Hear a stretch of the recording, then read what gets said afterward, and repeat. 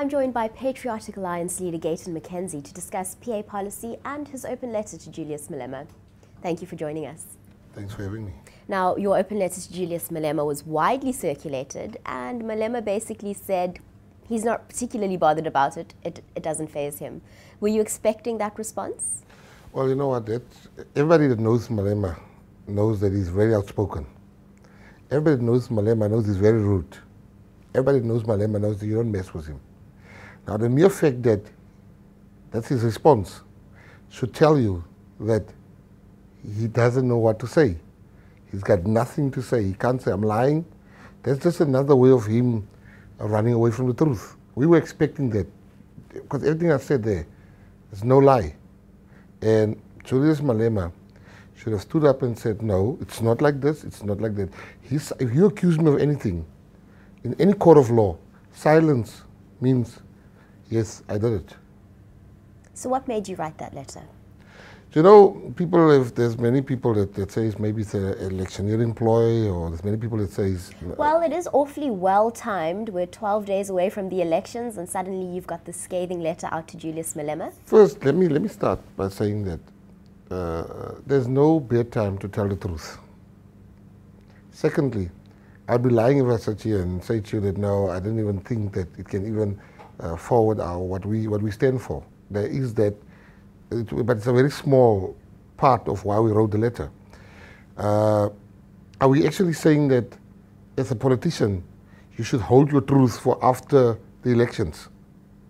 Because that's how I understand it. So if, if I see an injustice or I see uh, somebody making mistakes, I shouldn't speak about it simply because it's election time and I might be accused of electioneering. Julius Malema is a real danger to this country. Julius Malema is the biggest threat this country has ever faced. Now, what people need to understand is that everything Julius Malema says affects all of us here. Because if this country burns, which it's going to happen, because I know, you know, and every right thinking person knows that he's promising people heaven and he can't produce even the earth. Julius Malema will take this country down with him. Julius Malema called white people thieves. I asked Floyd on national TV, I said, Floyd, a white friend of mine bought, came to Cape Town to visit me two years ago. He loved this country so much and he bought himself a piece of land in Cape Town.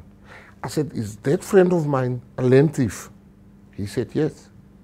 We're going to take that land.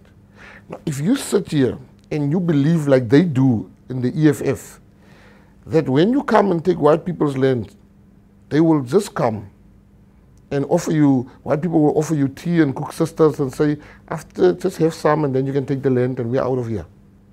He's leading us to war. There are ways to address those imbalances. Are, we have signed a pact that we are a rainbow nation. Nelson Mandela died knowing that He's leaving behind a rainbow nation. So why did we agree to that today if we should call one part of the rainbow thieves? By a bigger thief. I was a thief. I was a conman. I know a thief and a conman when I see. When I see one.